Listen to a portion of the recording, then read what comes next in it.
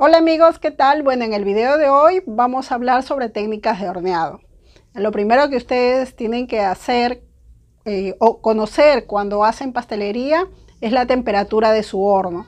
Tanto los hornos eléctricos como los hornos de cocina funcionan muy bien, siempre en cuando ustedes ya los conozcan, ¿no?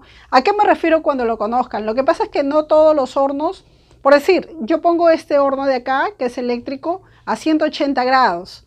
Y muchas veces la temperatura no es, no es, yo le pongo en la perilla 180 grados, pero como les vuelvo a repetir, eh, dentro del horno la temperatura no es la que yo pienso que, debería estar, ¿no? Igual ocurre en los, en, los de cocina, en los hornos de cocina, cuando nosotros horneamos, muchas veces vemos que se nos hunde el, el, el, queque o no cocina bien, es porque la temperatura no está bien graduada. Bien graduada ¿no? Bueno, para eso nosotros usamos, podemos contar con un termómetro de horno, que es el que tenemos aquí, que ya les voy a enseñar más adelante a usarlo.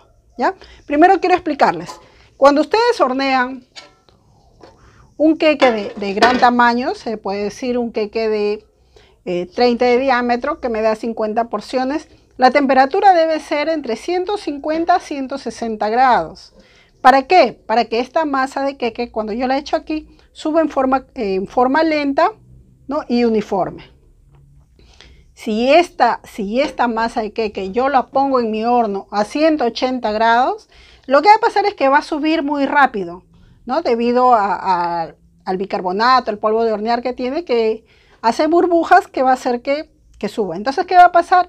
Al subir muy rápido, esta masa, la parte del medio no va a subir en forma pareja. Entonces va a hacer que el queque suba y luego se hunda en el centro. Ese es, la, ese es el motivo por lo que muchas veces ustedes este, se les hunde el queque aquí en el horno. Ese es cuando hacen un queque de, de gran tamaño, ¿no? Pero cuando hacen una torta o un queque de medio kilo, aquí sí ustedes pueden hornearlo a una temperatura entre 170 a 180 grados. ¿Por qué? Porque el horno tiene que estar más caliente, ¿no? Tiene que, eh, bueno, tiene que estar más caliente. ¿Por qué? Porque como hay poca cantidad de masa, entonces puede subir, puede subir todo en forma pareja a esa temperatura y entonces el horno eh, les va a salir parejo el bizcocho. Ya, bueno, ahora les voy a enseñar cómo usar el termómetro del Bueno amigos, el termómetro de horno, ¿cómo funciona? Eh, estos termómetros están adecuados para nosotros ponerlos y colgarlos aquí en la, perilla, ¿no? Por decir ahí está a 100 grados. Ahora yo le voy a subir la temperatura. Por decir acá le voy a poner, le voy a poner a 180 grados, acá, perdón, a 180 grados y voy a esperar unos minutos a que suba.